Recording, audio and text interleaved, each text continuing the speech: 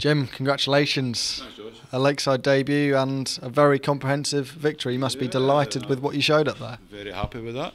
Uh, coming into it, I didn't know what Landon was like. I've never seen Landon play before. He's an unknown quantity. But if you're qualifying for Lakeside, you must be a decent player. So you've got to be on your game all the way through. Can it be a bit more difficult when you don't know a player? There's so many players making their debut. Is that is that an advantage? Do you think at all? You, you play the board, Josh. Always play the board. D- doesn't matter. I, if your best friend was up there, you play the board. Same, same with a stranger. Mm, no. In terms of you arriving here at Lakeside today, such an iconic venue, so many champions have, have played here. What was it like just turning up and seeing the arena for the first time? We done we done a wee tour last night, and I, I was just starstruck, seeing all the pictures and stuff like that going around about, and seeing the stage lit up. It was I was very nervous last night, but I felt great up there today. For yourself, I mean, what what are the Lakeside memories that, that stand out for yourself and you, got you thinking when you stepped inside? Oh wasn't a big Jocky Wilson fan, to be honest. Surprisingly, no. Um, John Lowe, Dave Whitcombe. I love I love to watch Dave Whitcombe. Um, Cliff Lazarenko.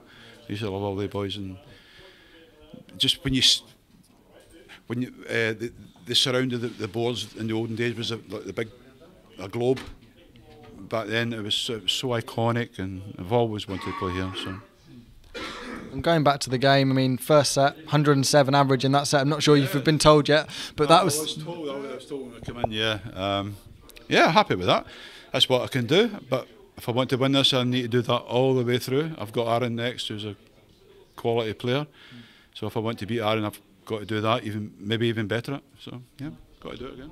You mentioned against Aaron there, he's, he's going to be making his debut here as well. You've got that out of the way. Is that an advantage that you've had a little bit of time on that stage? I don't. No, I don't think so. Aaron's Aaron's clued up. He he knows what he's doing. He's he, he's, he's, he's a veteran, if you want. Really, I mean, um, a couple of weeks ago, he did 107 average or something at county. So Aaron can play darts. I know Aaron can play darts.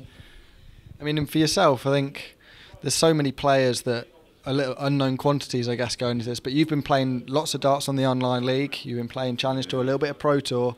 The form is there, and do you see yourself as a bit of a dark horse going into this?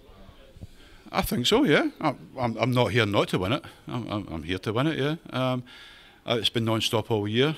Um, Pro Tour, Challenge Tour, Live League, WDF stuff. Um, I was supposed to be in Germany two weeks ago, but I, I turned it down because I needed a rest for coming here. Been, I've not been at home, hardly been at home anyway, so it's been really tiresome. But feel fresh again, and I'm up for this. Feeling fresh, brilliant. Thank you very much, Jim. Appreciate it. Thanks.